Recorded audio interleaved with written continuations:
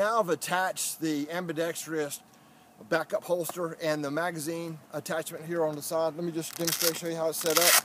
The backup holster, it's got the Velcro attached to it. Easily secures uh, next to your vest pocket rig or onto the uh, hook and loop of your um, ballistic vest. Then you just pull your strap in, put it in normal position where you always you have it, and it keeps the your um, backup gun right close next to your to your body, tucked underneath your arm. It's easy access and uh, it's out of the way, very comfortable to wear. You don't even know it's there. And you also got the the added magazine attachment with elastic, just slides in right here.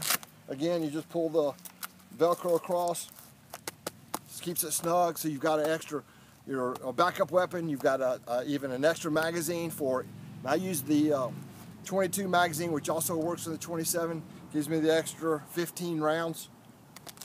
Then if I need to go to my backup, I can I can still use uh, the extra rounds.